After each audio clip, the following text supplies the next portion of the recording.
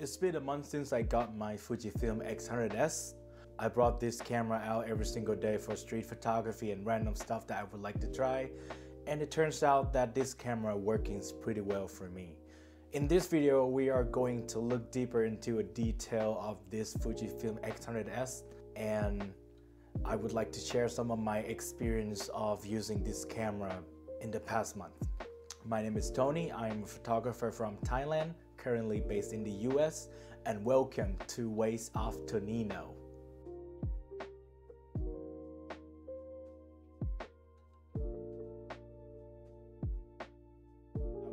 Start with the physical appearance of this camera. I would say that it looks pretty amazing. This camera is based on the rangefinder style of looking of the film camera, which is really identical when you look at side to side. To explain it properly, I will bring my film camera out. This is my Yashica Electro GS. This is my one of the film camera that I have in my camera collection. It looks pretty awesome. And this is my beefed up X100S. The X100S from the front, it looks pretty much identical to the film camera on the left right here. If you look on this one, this is Fujifilm X100S. This is the Yashica Electro GS. But if you look at the back, yeah, the LCD gives away the way the differences. That's the only differences they have. For the build of the camera, the entire body of this camera is made out of the magnesium alloy, which reduce a bunch of weight of this camera, as well as reinforce the durability of this camera also. You can carry this camera whole day without worrying too much about the weight you just feel like you have another phone right in your pocket, so it's not that heavy. For the exterior of this camera, the top and the bottom plate are made out of the aluminum, which is really strong and looks pretty good on the camera itself. And the leather-like finish on the exterior of the camera, it is a pretty good final touch of this camera. I'm not sure what is the material that made out of this, but it feels like a little plasticky like on this camera. It makes the camera looks pretty unique for such a small compact camera.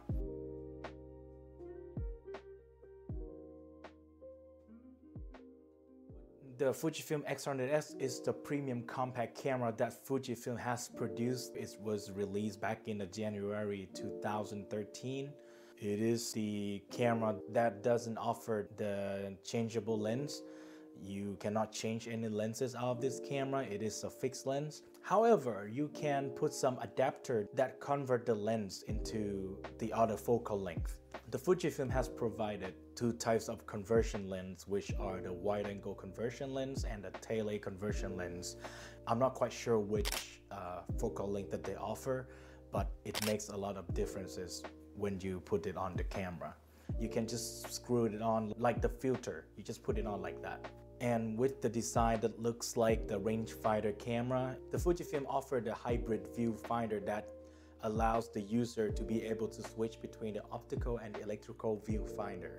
According to my own experience, the way I use this viewfinder is when I'm taking a photo of the fast movement, I tend to use the optical viewfinder because I would like to see what's happened in real life and use the autofocus feature that also appear on the optical part to take a photo. The electrical viewfinder in this camera also has a little bit of a problem when you use it at the low shutter speed because it it's lag a lot when you look through the viewfinder as well as on the LCD screen too. Yeah, the viewfinder is a little annoying in some part.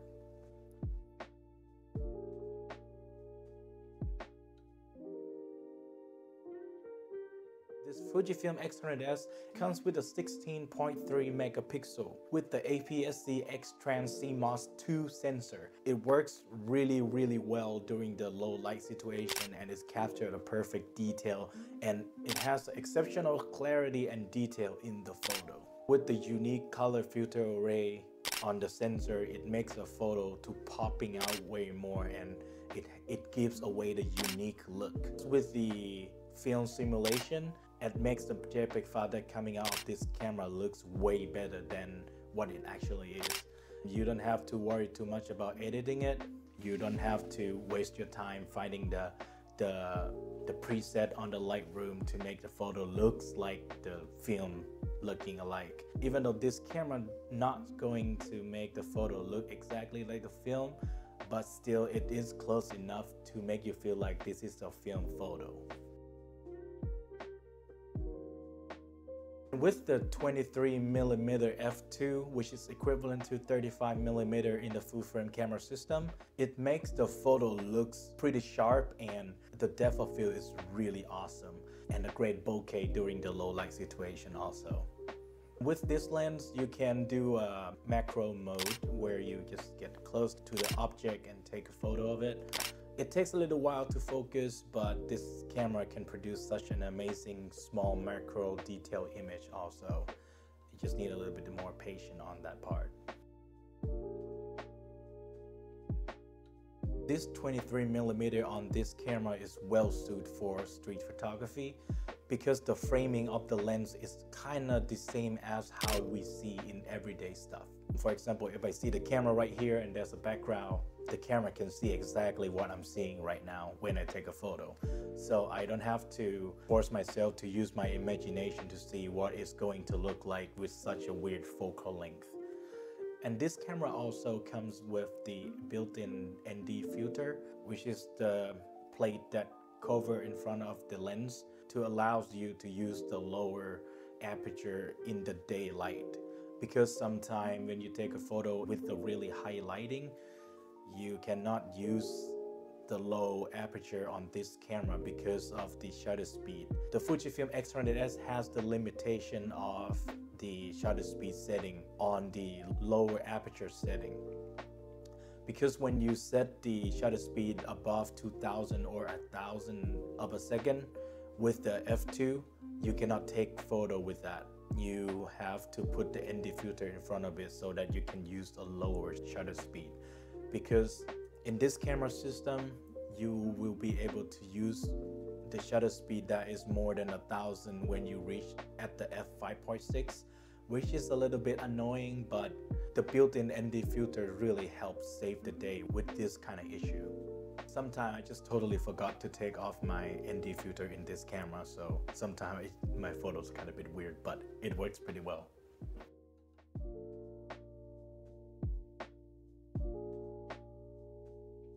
The interesting part in this camera is when you put the raw file in the Lightroom, there is a major problem with the raw file that came out of the Fujifilm camera system. I'm not sure what happened, but every time I put my RAW file in the Lightroom, the detail of the photo is a little bit off when you look through the noise part on the photo that I took. And I heard that Lightroom kind of have a weird coding situation going on with the file, so the detail will not give away as much as the other program like the Capture One. I heard from most of the photographer who using Fujifilm camera system recommend that well, we should use the Capture One to edit the raw file of the Fujifilm file. The Capture One will give you way more detail out of the raw file. Not sure why, but that's what Lightroom have an issue with the Fujifilm raw file. The Capture One is a little bit expensive, so I'm not going to get that one anytime soon. So I'm gonna stick with Lightroom for now and I was trying to find a way to fix it.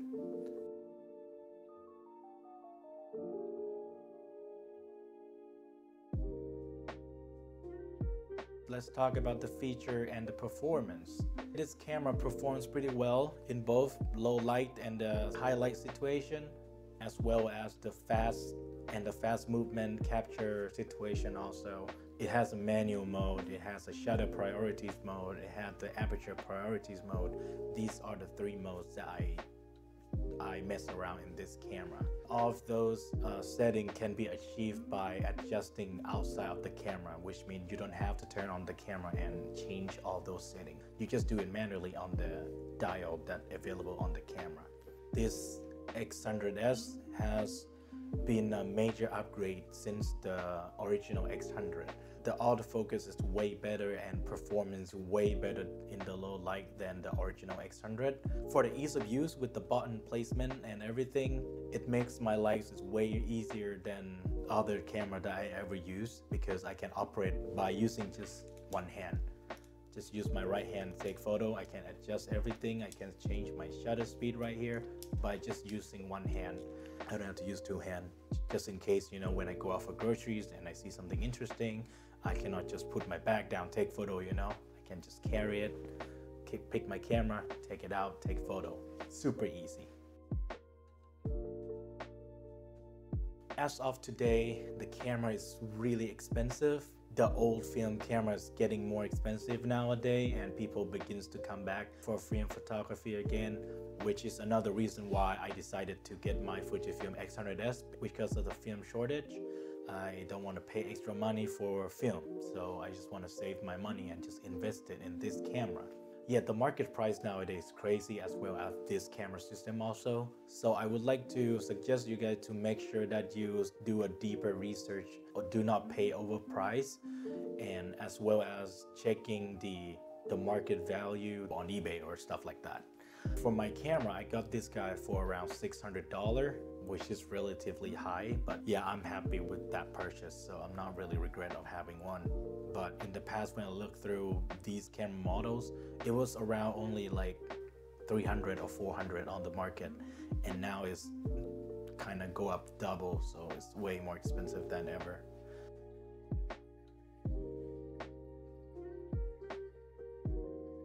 with such a retrospective design of the film camera that tried to implement into a digital world, I would say this camera nailed it. It works pretty well with such a compact and tiny camera. You can bring it out everywhere and performing in such a perfect low light situation with the perfect focal length and aperture. I really love this Fujifilm X100S. I really like the film simulation that this camera has to offer also because I don't have to waste a lot of my time editing every single photo that I would like to post it. So I just use my JPEG file and just uploaded it. I think this is the perfect choice for people who, who wants to become a street photographer. It is the entry level camera. It is good for both amateur and pro photographer and with such an amazing rangefinder style that can be switched between the optical and electrical viewfinder this is one of the coolest camera ever. I... well anyway thank you for watching my video and I appreciate all your comments and likes and subscribe. Even dislike I don't really mind. I hope you guys enjoyed this video. Don't forget to press like subscribe and share this video. If you dislike feel free to click it so my goals right now are just to go up to to goes up to a thousand subscribers. If you have an issue with X100S I will try my best to come up with the answer. And yeah I hope you guys have a nice day. Welcome to Ways of Tonino and see you again next time